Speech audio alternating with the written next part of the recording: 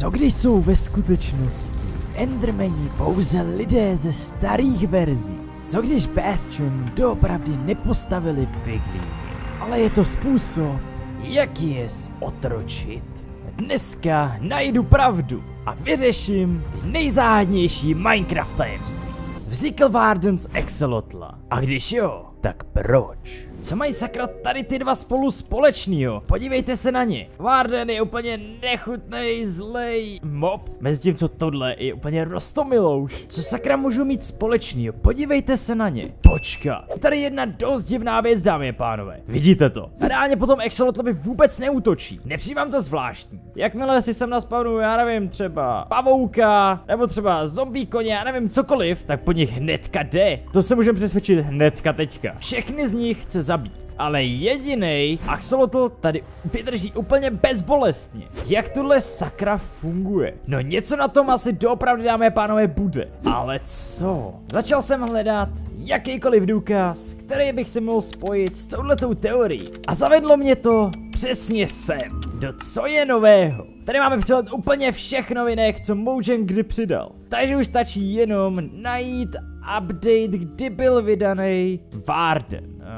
A to je tenhle. Ok, není tady nic tak nějak zvláštního. Až teda, počka. Vidíte dámy a pánové, to poslední, co tady je. Teď to je reálně psaný tím jazykem, který používá Enchant. Tímhle jazykem ale neumím. Jak tohle vyřeším? Já mám kamaráda, který pracuje u Mojangu. Akorát teda je z Ameriky, takže to zabere nějakou dobu, než mi odepíše. No, tak uh, jdu mu to zkusit poslat a schválně, co nám napíše. Ale zatím se pojďme podívat, jestli se skrývá nějaké tajemství v Netheru. A přesněji v Bastion.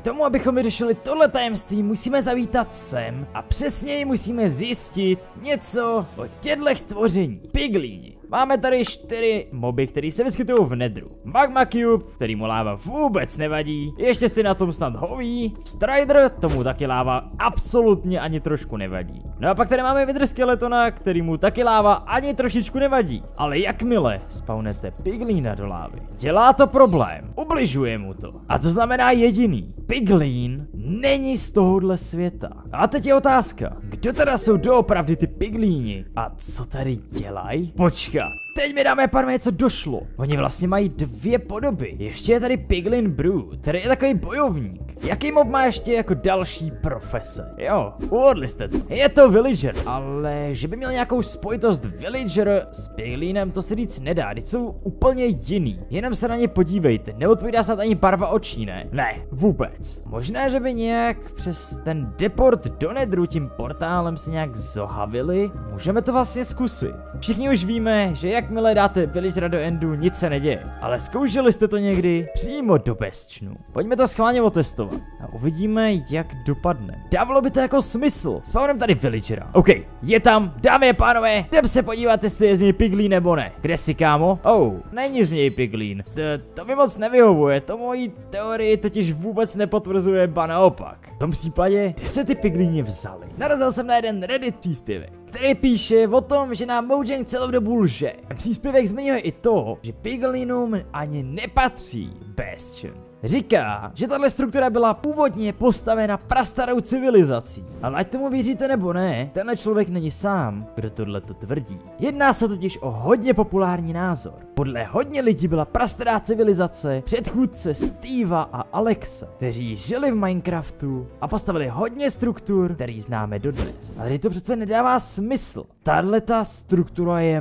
mega velká, když by trvala hrozně dlouho postavit. A hlavně je jenom z Netherbloku. Nikde tady nemáme žádnou známku jakýhokoliv kontaktu s Overworldem. A nebo jo. Odpovědi by možná mohly být tyhle čestky. Přece jenom, pojďme se podívat na ten loot, co se tam nachází. Zlato tady seženem. Železo. Já teda nevím, opravte mě, jestli je to jinak, ale železo podle mě v nedru nemůžeme najít. Šípy. E, jo, počkat, ty vlastně jo, protože se tady spawnují třeba i skeletoni. Iron nuggety a stringy. Ty přece taky ne. Stringy přece taky nejdou najít v nedru. A Crossbow? Hmm, pojďme se do další čestky. Co třeba tady v té velké čestce? Obsidian, crying obsidian, asi dejme tomu. Bone bloky, jo. Ale zase, stringy. Co třeba tady vedle? Magma cream, ano. Železo. banner paterny, ke kterým potřebujete papír a ten tady neseženete. My jsme na to kápli. A počkat, ještě něco. Lantern. Ten se přece jenom musí také kraftit z ironů. A ještě k tomu, dámy a pánové, řekněte mi o nějaký další struktuře, kde můžete najít lantern. Jo, jsou to Trailer Ruins. A to je přímo oficiálně Mojangem potvrzený, že bylo údajně postaveno prastarou civilizací. A počkat, znamená to teda, že tohle je to stejný.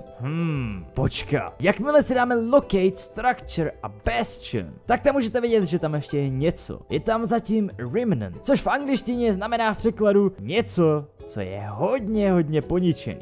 Ale kdyby tady ty piglini bydleli, tak proč by sakra neopravili ten Bastion? Podívejte se na něj, fakt je celý rozbořený. Tudíž to nám potvrzuje naši teorii, že piglíni to tady nepostavili. Ale odkud teda jsou tady ty piglíni? Přece jenom, když si je spawnem v Overworldu, tak můžete vidět, že se úplně klepou, jako kdyby jim byla extrémní zima. A po chvilce, co je necháte takhle být, tak se z nich stanou zombified piglíni. Přesně jako takhle. To je vše. Tak kde? Mám odpověď. Když dáme Weather Thunder a teď si vezmeme Trident a použijeme Channeling Enchant, a teďkon, jakmile půjdeme k jakémukoliv praseti a trefíme ho tady tím tridentem, tudíž ho zasáhne blesk. Voila, je z něho zombified piglin. Dámy a pánové, znamená to snad, že si prastará civilizace vzala kód tady těch prasat a pak je přesunuli prostě do nedru? Ale proč by to dělali? Musím se toho naučit trošku víc o bestčnu. A tak jsem zavítal na oficiální stránku Minecraft Wiki, kde tady o tom něco máme a dozvěděl jsem se, že nejenom, že je tady těch struktur desítky, ale ono jich je stovky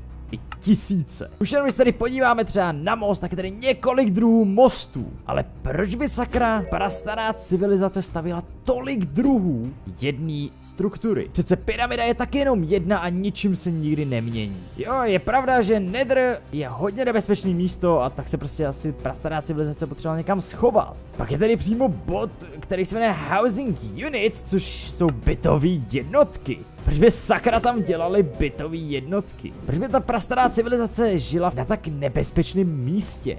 Leda, že by to nebylo pro ně, ale pro piglíny. No počkat, na to se vlastně pojí Hoglin Stables, alias stáje s hoglinama. Těm si vlastně zařídili jídlo, aby tam mohli dál žít. Počkat, takže tady máme stáje, máme tady mosty, máme tady bytové jednotky. A co tady teda máme ještě? Loot? Počkat, treasure room! Dámy a pánové, přišel jsem na to! Piglini jsou hodně posedlí zlatem. Doslova všude tady mají zlato, jejich děti kradou zlato od ostatních hráčů, oni tradují se zlatem, všechno, celý jejich svět je spojený se zlatem, dokonce mají i zlatý věci na sobě. A pokud nemáte vy zlatý věci, jste taky v háji. Co když prastará civilizace vytvořila tyhle ty piglíny, aby jim reálně těžili a hledali zlato? To by dávalo smysl. Všude v nedru je zlato. Je tady hodně velký nebezpečí a prastará civilizace prostě nechtěla riskovat. Takže tahle ta struktura Bastion není jenom jejich domov.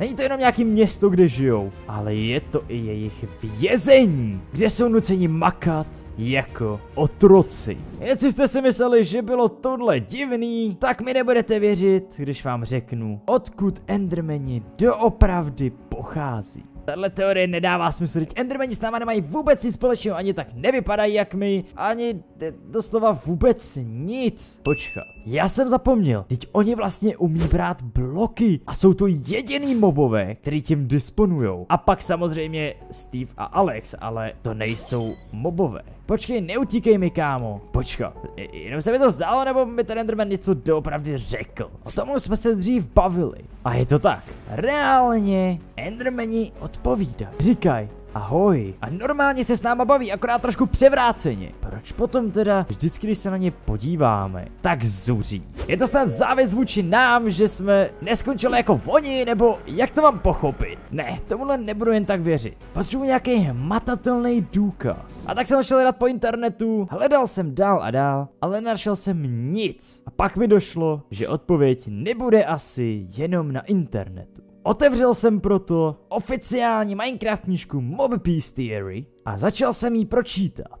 Ok, podívejte se na to, ten Enderman má mozek. A já jsem u někoho jiného mozek neviděl. Nebo snad jo. Gast nemá mozek.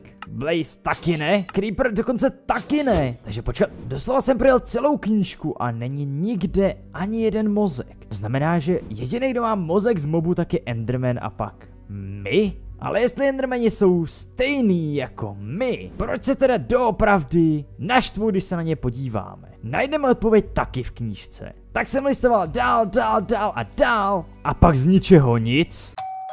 Možná si momentálně říkáte, kdo mi to zvonil na dveře. To jsem si říkal taky. Jakmile jsem přišel, nikdo tam nebyl. Jediný co, ležela na zemi obálka s dopisem. Dopis zněl takhle. Celý je to v angličtině, tak se vám to pokusím aspoň trošku přeložit. Doufám, že se k tobě můj dopis dostal. Je příliš nebezpečné, abych ti tohleto psal online. Proto jsem se rozhodl, že ti odepíšu na tvoji otázku v tomhle dopise. Ten text, který chceš přeložit, je. Exolotlové nejsou to, jako co vypadají. Zkus si převrátit barvy Várna a Exolotla. Pak najdeš odpověď. To už se přece jednou taky dělali. Tak to pojďme udělat ještě jednou. Takhle to vypadá bez úpravy. Pojďme teď flipnout barvy. A potom to vypadá takhle. Dámy a pánové, myslím si, že jsme na to kápli. Objevili jsme nějaký ďábelský plán Mojangu. Ale co to znamená? Znamená to snad to, že exolotlové jsou něco víc než jenom rostomilý zvířátka. Co se před náma Mojang snaží skrejt? Možná portál v Ancient City není doopravdy obličej Várna, ale obličej Exolotla. Víš to snad?